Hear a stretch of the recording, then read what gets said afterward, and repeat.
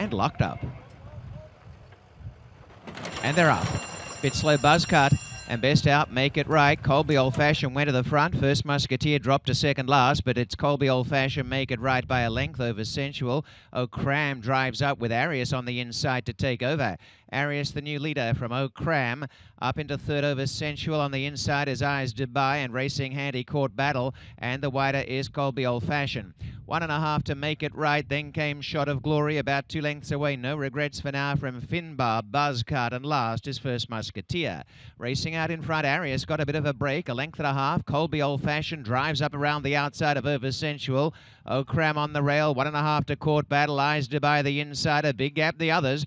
Five lengths away, no regrets for now. Making ground, then make it right. Shot of Glory, Finbar, Buzzcut, and First Musketeer. Arius turns a length and a half in front. Over Sensual Tap Dub on the outside. Colby Old Fashioned and Sky Shen. It's clear. Arias out by three lengths. Colby Old Fashioned, and on the inside over Sensual, and then came Eyes Dubai and out wide a court battle. Arias two and a half in front.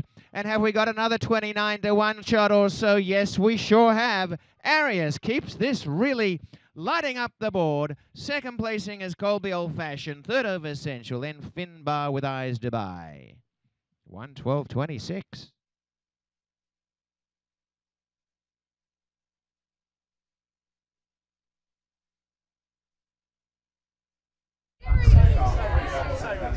Okay, ladies, ladies, yeah, ladies,